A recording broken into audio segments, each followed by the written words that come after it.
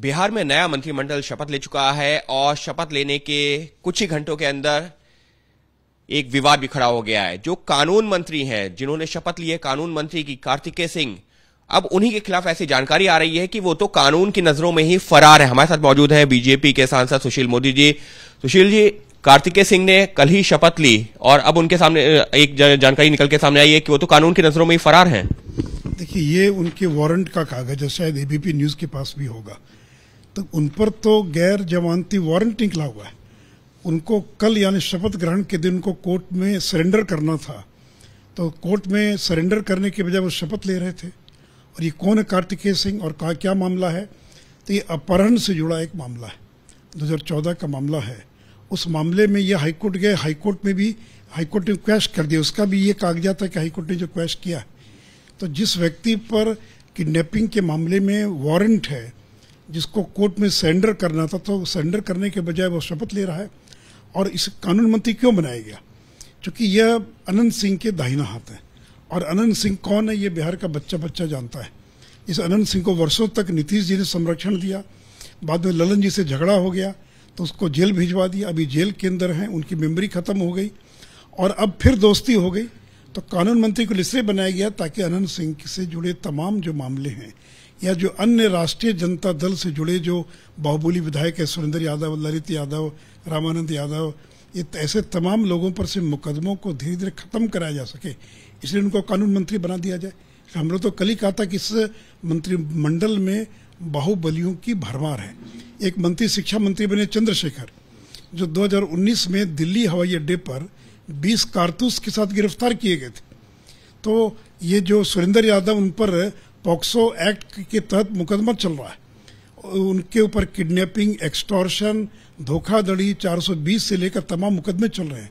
तो जिन लोगों को नीतीश जी आपने मंत्री बनाया है, वो कौन लोग क्या आप नहीं जानते? रामानंद यादव को नहीं जानते? और जिन लोगों के नाम से ज़िले के लोग थर थर कांपते सुरेंद्र यादव जब चलता है तो लोग डरते हैं, बाएँ दाएँ हो जाते हैं कि पता नहीं जो है और क्या होगा।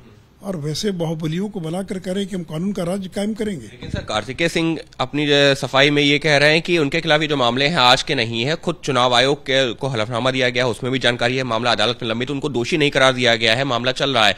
तो दोषी करार देने से पहले उनको कैसे दोषी आप मान सकते हैं? यहाँ दोषी करार की बात कहाँ हो रही है? यहाँ तो बात ये हो रही है कि उन पर गैर जमानती वारंट है।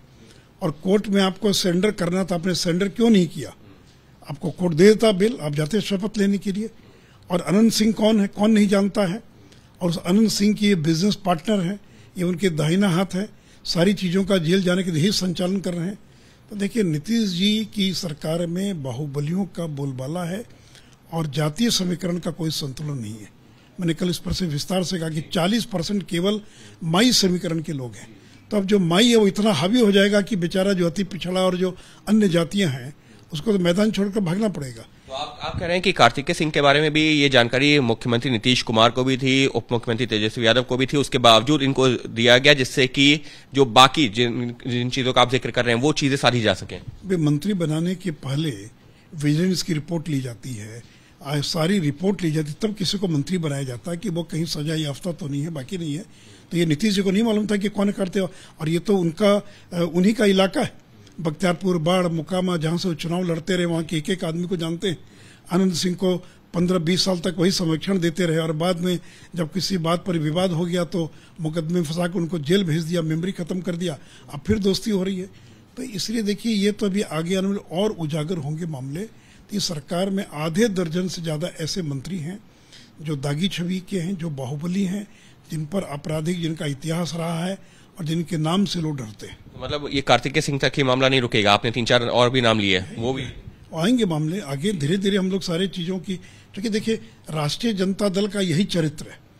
उसकी पार्टी में राजवल्लभ यादव होंगे साहबुद्दीन होंगे सुरेंद्र यादव होंगे वो इन लोगों से अलग जा ही नहीं सकते। अलग जाएँगे तो उनका जो आधार है वही बिखर जाएगा।